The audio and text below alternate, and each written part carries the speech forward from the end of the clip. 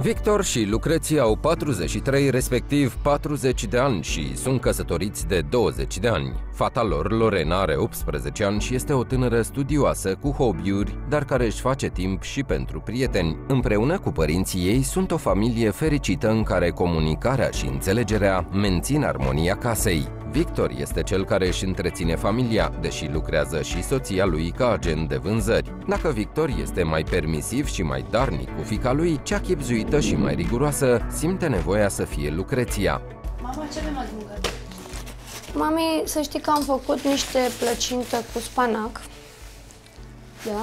Ce, nu-ți place? Plăcintă cu spanac, mama, pe bune. Dar ce vrei să fac, dragă? Stai puțin să verific, că e aproape gata, să știi. Ia să vedem. A, ce? Mai durează puțin și gata. O să vezi ce bun e. Cum adică să arate nașpa? Am mai făcut de atâtea ori. Ce? Nu ai văzut ce bun iese? Spanacul e sănătos, hai lasă. Eu sunt Lorena, am 18 ani și acum sunt în vacanță. Îmi place să citesc și să petrec timpul cu prietenii. Tatăl meu este mai mult plecat și eu cu mama am încercat să ne descurcăm singure, dar ne este foarte greu fără el. Am un burger, o, ceva, o pizza. Mai, Ar mamă. merge mai bine decât spanac. Ieri am avut ciorbă. Așa, și ia lasă că mâncăm sănătos, că așa trebuie să mâncăm. Ah. Păi, mâncarea gătită în casă e cea mai bună, e cea mai sănătoasă. Lasă, eu vin de la serviciu obosită să fac mâncare și tu faci nazuri. Sincer acum. O, mamă, de lasă. spanac. Trebuie Păi- să faci altceva, nu știu, niște paste, că și alea tot în casă sunt. Sunt în casă, dar nu, mie nu-mi plac pastele. Nici mie spanacul. Acum ne certăm pe treaba asta. Ah, Ce face fetele? Hei, bună! Bine, ne dă mama spanac. Da, ne dă mama mâncare făcută în casă bună. Ce faci tu? Bine, băi, spanacul, fii atent că e sănătate. Păi nu i-am spus și eu la fel. Nu i-am spus mai e Tată, puțin dar și... Ar merge o pizza ceva, hai să comandăm. Ai mă, Fii nici n-a atent. venit bine și tu gata să comandați. Aștepta să vezi cum iese ăsta. dacă nu mănânci și ți-a făcut mama, Păi da, eu muncesc, vin să gătesc și voi ce faceți acum? telefonul care ți l-am comandat o să stea cam rău în uh, vitrină. Nu cred, e la telefon pe bune. Este comandat. Sunt fata lui tata și asta se vede de la o poștă. El îmi face toate poftele. Victor e un individualist. Eu înțeleg că e lumina ochilor lui, dar să nu mă neglijeze și pe mine. Bine. Deci te rog frumos, Deci- mănâncă tot. Deci ce faci, Victor, tu? Adică tu o recompensezi că nu mănâncă. Ce telefon ai luat? Acum mănânc. Contează mult pentru prințesa mea orice. Orice, a, da, bun, și mie ce mi-ai luat? Ei, dacă ai puțină răbdare, Mhm. o să vezi ce cadou sunt. Da, pe tot timpul am avut răbdare să văd ce cadou îmi faci. Acum nu mai ai două fete, ai doar una. E frumos ce da, faci. voi știți foarte bine, voi sunteți cadourile mele, da? Da. Tata, foarte mișto cadou, dar nu Dar pot să cum mănânc nu? Câți bani ai plăcintă. dat dragă pe el? Ce telefon ai luat? Eu mă duc să Destul mănânc vorbim. fetele. Unde să te duci? Rămâi Nu să pot mănânc, să dar mănânc, sta- mamă, de sincer, stai aici, plăcintă. Lorena. Îmi pare rău că n-am putut să stau cu ei la masă, dar eu așa ceva nu pot să mănânc. Ce educație îi dăm noi acestei fete? Când ea cere mâncare de la fast food și noi avem mâncare în cuptor? Măi, Victor, chiar tu, pe cuvânt, chiar mă superi. De ce? Păi cum, de ce? Ce ești așa de calm? Serios? Adică eu muncesc, vin de la serviciu și mă apuc să fac și eu ceva pentru voi să mâncați sănătos, nu? Da, mă, dar știi cum Și- sunt copiii, mă, ce, bă, acum, bă, odată mănâncă, odată nu mănâncă, ce... Odată Pui tu mănâncă, suflet odată nu așa doar mănâncă. pentru orice chestie. Păi, care n-au pun mâncat. suflet pentru că e, tu cheltui niște bani aiure, adică chiar merita să dai atâția bani pe telefon? Da, da, dar Dar voi nici ce, noi- dar toți au, toți, ce, ce vrei să vai acum? Trebuie să aibă și ea, ce vrei, ca să fie în rând cu toți ceilalți Noi- adolescenții. Păi, Știi ceva? Noi nu putem să fim în rând cu toată lumea. Noi ne raportăm la ce avem noi și la ce ne permitem noi. Serios. Adică eu destul de mult muncesc și chiar nu-mi place treaba asta. Vă așteptam cu masa și mi-a stricat tot cheful și voi. Chiar nu mai mănânc. Victor a greșit. Că am avut sau nu, i-a făcut Lorenei toate poftele. Și acum e o răsfățată. Pe Lucreția o iubesc foarte mult, dar uneori mi-e greu să o înțeleg. Deci tu chiar o exagerezi acum. Adică eu vin de la serviciu obosită, nu mai eu știu câte pățesc, da? Vin să vă gătesc, să aveți mâncare de casă și voi ce faceți? Tu îi ții partea să plece să cumpere, să ducă la restaurant, ce facem? Ne batem în joc și pe telefonul ăla câți bani ai dat? Măi, nu se duce la restaurant, se duce și dai seama, mănânce o pizza, un burger și... mai Tot la departe. restaurant înseamnă. Da, ok. Asta Zic e că tu ai dat pe generația. telefonul ăla, că chiar Ei, m-a făcut a curioasă. Fost, da. Ei, a fost 5 a fost 5 mii. 5.000 de lei. Atât ai dat pe telefonul ei. Tu glumești. Dar ce, un din asta așa mai ieftin nu putea? Asumă Avem ce- atâtea cheltuieli. Păi, dar noi avem asociația de plătit, avem rata neplătită pe luna asta. Tu ce vrei să faci? Băi, pe cuvânt, ești responsabil. Cheltui niște bani aiurea, știi bine cât de greu îi facem, da? Deci hai că chiar mi-a perit pofta de mâncare, acum chiar m-am supărat. Lucreția va trebui să se adapteze mai mult la generația Lorenei. Altfel, vor exista crinciuri zilnice. Păi ce să-ți fac? Acum o să stai să mănânci singur, da? Scoateți din cuptorul plăcinta, mănâncă-ți atâta timp cât iei decizii singur, singur să mănânci. Pe mine nu mă consult niciodată. Mă duc să fac duș. Lucreția. Mă, pe bune, bă, ajung să mănânc singur. Problemele financiare sunt motivul pentru care apar discuții între Lucreția și Victor, dar împăciuitor și calm de fel, acesta știe cum să evite o ceartă. Mai mult, pentru el Lorena merită să fie răsfățată și pentru că înțelege mai bine ce înseamnă adolescența. Victor este responsabil când vine vorba de întreținerea familiei, de unde și deplasările lui ce se impun în diversele contracte de muncă, pe care îi le obține în mare parte chiar fratele lui mai mare. O, ce face fratele meu? Bine, bine, dar frățiorul mai mic ce face? E bine? Toate bune? Mă, da, uite, căutam de, de muncă de aici, că Mhm, cum e și cu ai sacul. găsit ceva? Ai, ai orientat spre ceva? Bă, sunt mai multe, dar încă nu m-am axat pe ceva, nu m-am oprit la ceva anume. Uh, am o ofertă de muncă pentru tine. Exact pe stilul tău, exact ce știi tu să faci. Hmm, ia, prezint-o. Da. Bă, fii atent, în felul următor. Bă, Jobul ăsta e pe un vas, un vas ăsta de croazieră. Te plimbi și tu înconjuri Europa pe Dunăre, 3-4 luni acolo, bă, se merită, spun sincer. 2000 de euro pe lună plus tips. Ce zici? Te faci? Bă, oferta e promițătoare, doar că e cam Bă, eu mult. cred că e foarte bună, foarte, fo- foarte bună. Hai, că patru luni trec repede. Dar totuși, câștigi niște bani, știi? Bă, Dar eu, vezi, eu... dar vezi, hotărăște repede că plecarea e în două zile, că a renunțat unul că nu știu ce și știi că l-am pe prietenul al meu care are asta de, de recrutare de asta de forțe de muncă și m-a sunat imediat, zic, bă, uite, am asta, hai bă, că sunt pe frate meu acum și gata, îl trimit, nu-i problemă. Se duce el full oblig să se ducă dacă nu vrea. Bă, Deci eu zic să de te decizi că e pomana asta. Cred că mă bag, dar uite să vorbesc și cu fetele, să văd ce spun și ele. Da, mă, ele nu, nu cred că să, o să fie împotrivă, că e spre binele familiei, spre binele vostru, că uite, mai e, e un ban care nu-l câștigi așa imediat, știi? Adică tu bănuieți că de-abia te descurci. Adică 2000 de euro pe lună mi se pare câștig bun, foarte bun chiar.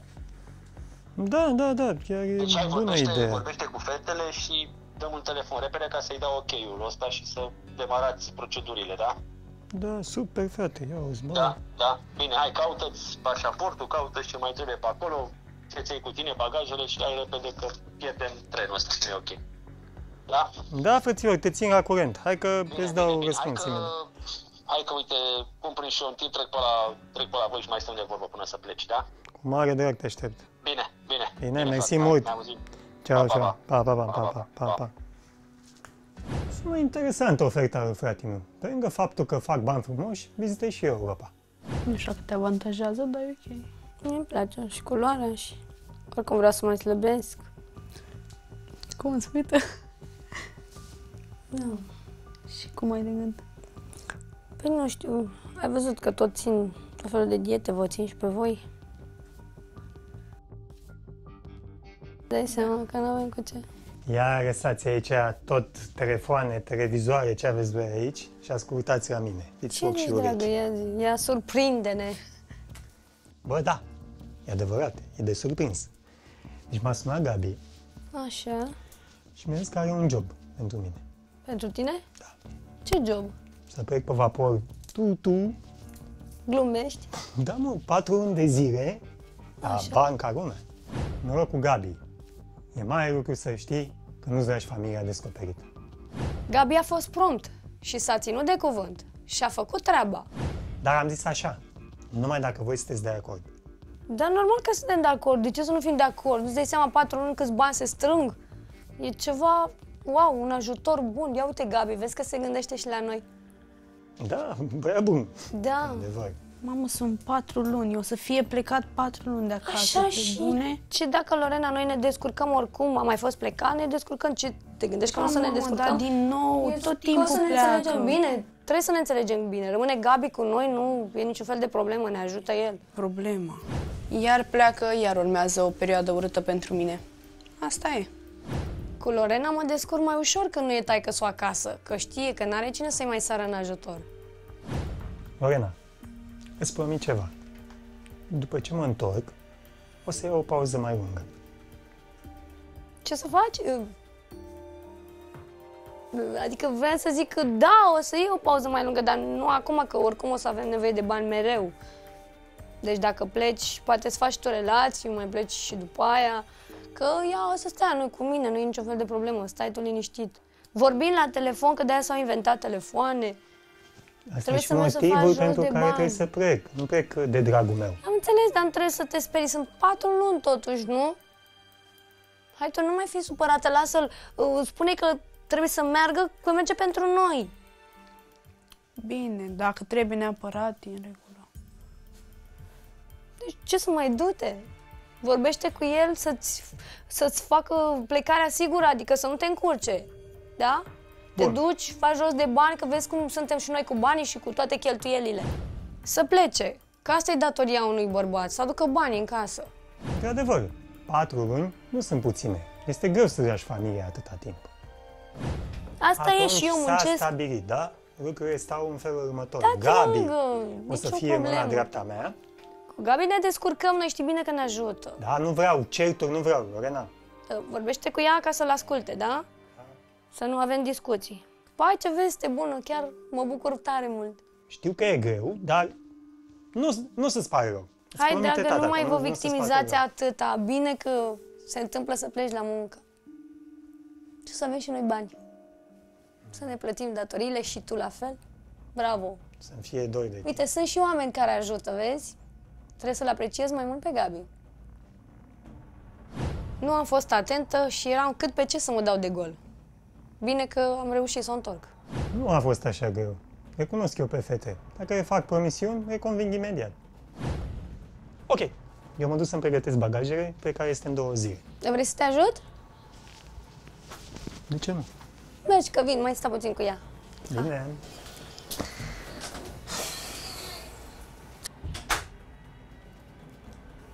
Să se ducă. O să avem bani.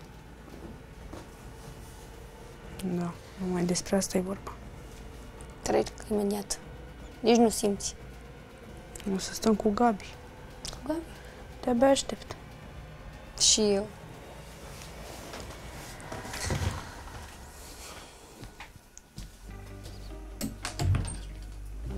Plecarea lui Victor stârnește reacții diferite. Dacă Lucreția este vădit încântată de veste și o susține într-un fel puțin ciudat cei drept, Lorena nu împărtășește entuziasmul mamei ei, cu atât mai puțin când aude de Gabi, unchiul ei, care pare să fie un real sprijin pentru familia ei. Cele două zile au trecut, Victor a plecat și Gabi deja și-a luat în primire rolul de protector al Lucreției și al Lorenei.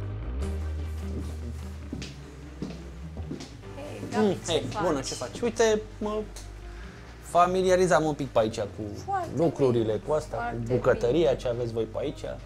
Da. Chiar asta voiam, să te rog să te simți bine, să te simți ca acasă.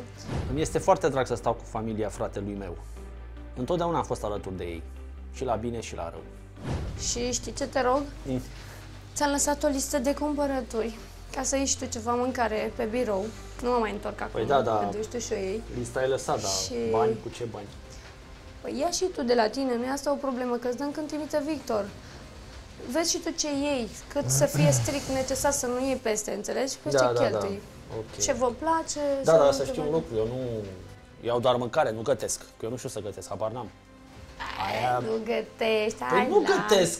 Păi dacă te e foame ceva, vreți să mâncați ceva, gătește. nu faci Comandăm tu ceva, nu asta, sau ce Lasă. mâncăm ce este pe frigider. Nu comandăm, faci tu ceva. Mm, Lucreția este o femeie minunată. Nici până în ziua de azi nu știu cum a agățat-o frate meu. Ce să fac? tu ceva. Și tu unde pleci așa? Nu faci tu pentru mine, unde plec. Ți-am Dar nu spus schimba că mă duc, subiectul, unde te... mă duc cu Cristina, bem și noi un suc. Stăm și Da? noi cafetele. Mm. Că n-am ieșit de mult cu ea. Și, și am promis că dacă sunt... sunt... Ținut asta Păi, și... dar cum vrei să ies la restaurant? Ca o babă înfofolită? E, o babă înfofolită, nici chiar așa, zici că te duci la întâlnire, de nu te ceai. duci la... Ies cu o fată, cu o colegă Mhm, de servici. Deci asta faci, da? Te rog. Ai acolo, vezi ce iei, te descurci Da, da, să da, mănânce fata, să Păi și vă fata ce înțelegeți. face? Un, când...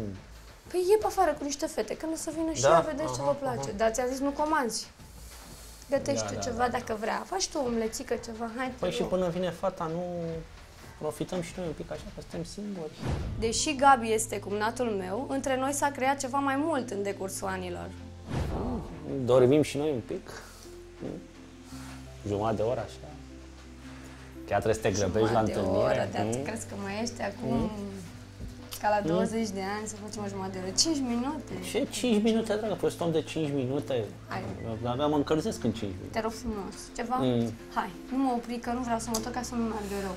Of, bine, Simte-te hai. ca acasă, ești Bine, singur, bine, bine. pornește televizorul, descurcă-te și Mhm. vedem noi timpul pentru noi altă dată. Cu Gabi e ușor de lucrat. Eu îi dau ce vrea, iar el îmi dă toate stelele după cer. Bine, Hai că am bine, bază în bine. tine, da? Hai te pup, vorbim. Pa, pa, te pup și eu, pa.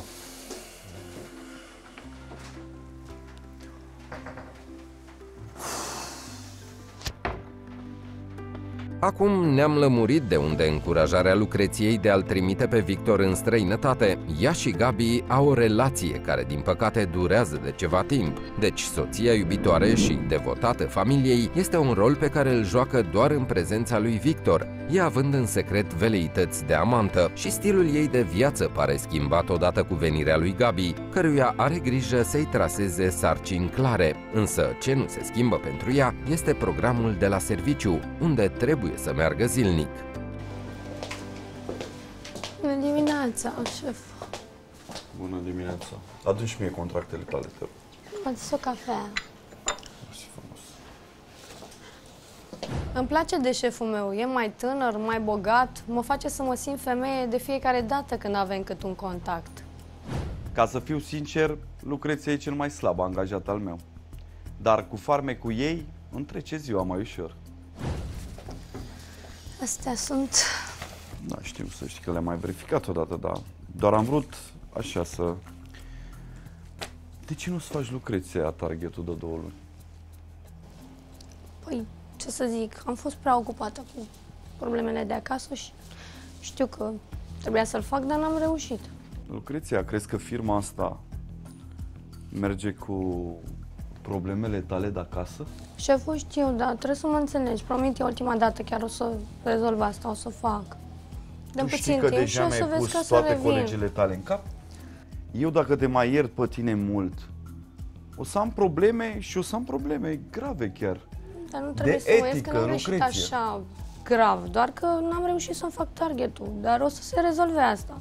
Știi că mă ocup și mă dedic, dar acum am avut și eu niște probleme, chiar nu mă înțelegi. Îmi permit pe la muncă să mai trag măța de coadă, pentru că știu că dacă îl supăr, știu să-l împac. Firma merge foarte bine. Dar asta nu trebuie să știe Lucreția.